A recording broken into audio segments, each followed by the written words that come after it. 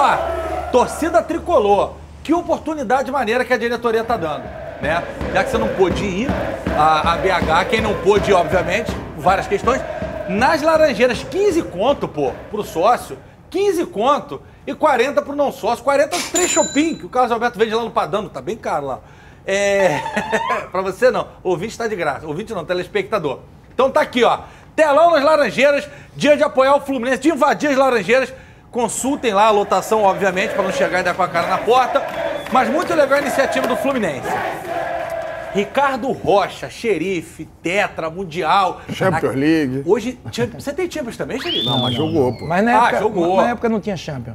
Era Copa UEFA. Olha aqui, a gente tem Mundial de Seleções, Mundial de Clubes e Mundial de Bola de Gude lá em São Gonçalo. Hoje aqui tá Copa do Nordeste, não. tem, tem Copa do Nordeste, não tem? Eu tenho Cearense. Copa do Nordeste na minha época ainda não era esse Ah, ele também é verdade. Não Era era, mais- tão forte. é. Não era tão forte. Xerife, seguinte, Fred no dia que se aposentou e no dia anterior falou, Fluminense hoje joga o futebol mais vistoso do Brasil. Ele não falou nem de eficiência, falou, até falou, né, que mais faz gol, que menos toma toma gol, o mais legal de ver, transição mais rápida. Você concorda com o Fred? O dinizismo existe. Existe e totalmente diferente do que é o início da sua carreira como treinador.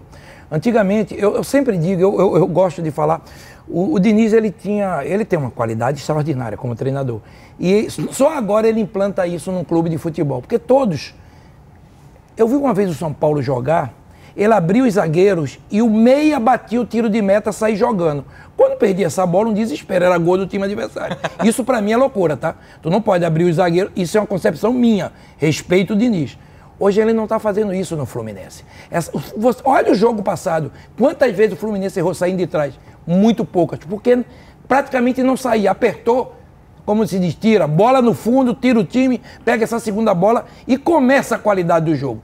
O Diniz, ele tinha até a página A. Agora ele tem A, B, C. Eu estou gostando do Diniz. Ele é um outro profissional na minha visão de jogo, vendo o Fluminense jogar.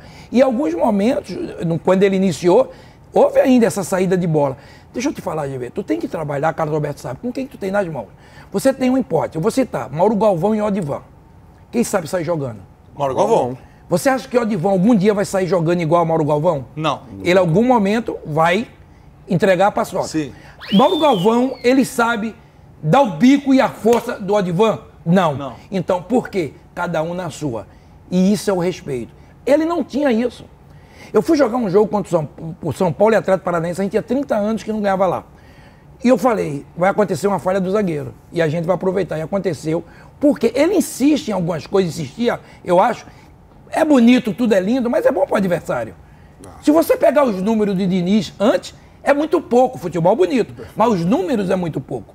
Então ele hoje no Fluminense, para mim, ele tá perfeito no que eu tô achando. Na hora de sair, sair, na hora de quebrar, quebrar, luta pela segunda bola. Então, ele tá perfeito. Ele tá muito bem. E o Fluminense agora, é claro, o Fred parou para parabenizar primeiro né, o Fred por tudo que fez. Eu não tive essa oportunidade pessoalmente aqui nessa grande audiência de vocês.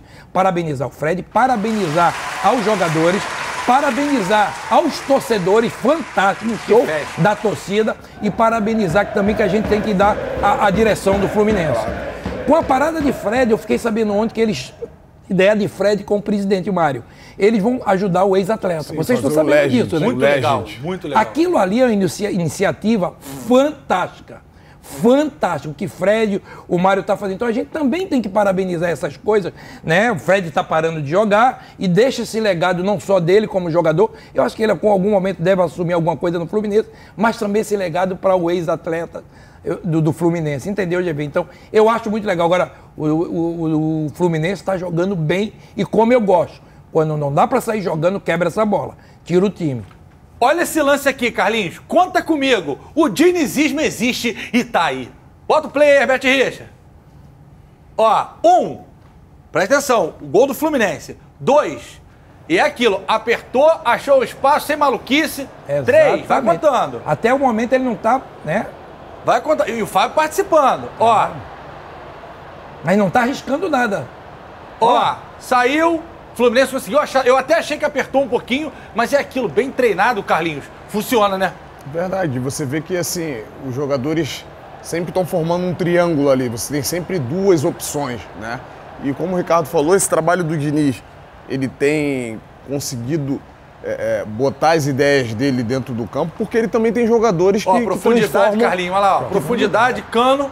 Que ele tem jogadores que também conseguem transformar aquilo que ele pensa. E eu vi uma dificuldade muito grande dele em alguns clubes, porque se você tem essa ideia de jogo que eu acho muito bacana, é uma ideia moderna, é a ideia que eu gosto de futebol, mas você precisa ter peças também que, que façam aquilo que você quer. Porque não adianta, igual o Ricardo falou, você cobrar de um jogador como o Odivan, dele sair jogando. E às vezes essa responsabilidade ficar pro, pro goleiro, de querer jogar com os pés. O goleiro, o primeiro ofício dele é defender. É. Se ele jogar bem com o pé e tomar 20 gols por, por partida, não, não soma nada. Então, assim, ele conseguiu buscar esse equilíbrio no Fluminense. Você vê que o Fluminense sofre pouco e começa a esmagar o adversário lá em cima. Esse passe do Nino também foi brincadeira. Agora, xerife, você trabalhou no Cruzeiro há pouco tempo. Você participou de perto dessa transição. Eu, nesse programa aqui, e é opinião, né? Cada um tem a sua. Porque tem gente que acha que não. Achei que faltou carinho no trato com o Fábio, na dispensa do Fábio, que hoje é um dos melhores goleiros do Brasil. O que ele pegou no último jogo do Fluminense contra o Ceará foi brincadeira, com 41 anos. Você acha que vai ter um gostinho diferente ele voltar ao Mineirão hoje e se ele não tomar gol, o Fluminense passa? Olha como é que o destino é. é. O destino é incrível, né? É um baita goleiro. Eu nunca tinha, tinha trabalhado com o Fábio. Olha isso aí, xerife. Não, pegou muito. Trabalhei com ele no Cruzeiro, olha, sensacional. Quando a gente chegou lá, o Cruzeiro era 19, terceira divisão já. Quando ele chegou, revolucionou. E esse cara foi um cara que nos ajudou muito. Fábio, como homem, como ser humano, como pessoa, cara do bem, importante para a garotada. Então eu acho o seguinte, futebol tem essas coisas, é incrível, né? Vai decidir num clube da paixão dele, que é o Cruzeiro, a torcida o ama. Esse cara fez é, realmente grandes defesas ao longo é, dos anos como no Cruzeiro e está fazendo no Mais de 900 jogos é, também, né, Ricardo? Eu vou ser sério, eu acho que tem que Foi injustiça? Foi, eu achei. E outra coisa, da maneira como foi, nem atendê-lo, né? Porque ele foi claro. Pô, joguei com o cara, o cara nem ia na sala de lado, nem veio falar comigo, ó, não precisa mais, vou embora. Muito frio, eu acho. Muito tudo. frio. Ó, você vê o Fred, o Fred como saiu, Fluminense? É. Era isso que eu esperava. E outra coisa, sabe o que ele falou para mim? Ele queria completar os mil jogos. Ele ia parar. Ele ia parar. Ele ia parar. A tendência dele talvez era parar, fazer os mil jogos. Faltavam 30 e poucos jogos, vê. Muito pouco, para o que esse cara representou. O Carlinhos falou bem aqui. Olha a diferença e ele tem mais jogos com o Cruzeiro do que o Fred com o Fluminense. E ele tem mais títulos com o Cruzeiro do que o Fred com o Fluminense. Olha a diferença de final de história. Olha, Calê, a diferença. Uma muito. discrepância muito um grande. Um sai assim, ó, não queremos mais, pode ir. Muito. É, mas é, são comportamentos que o futebol aqui no Brasil ainda permite, né? Porque na Europa você não vê isso. Você vê uma valorização do, dos grandes. Um exemplo agora é o Marcelo, que, que saiu, está de saída do Real Madrid, né? O jogador que mais venceu mais título. títulos na história do clube. E assim, o clube também entende que quando esse jogador não serve mais, que não tem problema nenhum, mas faz as suas homendagens. Você foi con... agora ser homenageado depois Sim. de 20 anos no, em Porto, no Portugal? As suas condecorações para esses atletas, isso é muito importante. Então, assim, o, o, o, o Fábio merecia ser tratado de uma forma diferente. Fala galera, Carlos Alberto aqui na área falando. Já que você chegou até aqui, se inscreve no canal, toca o sininho e ativa as notificações. Valeu, um beijo e aquele abraço.